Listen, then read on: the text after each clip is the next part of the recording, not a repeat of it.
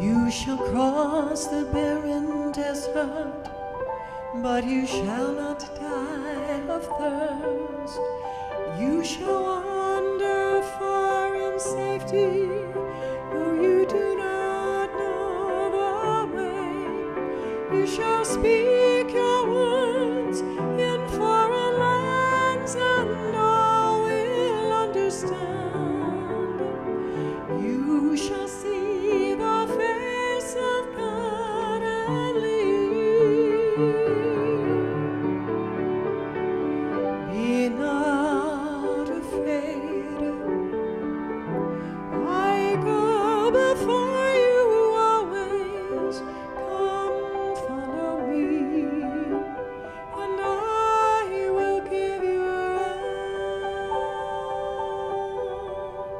If you pass through raging waters,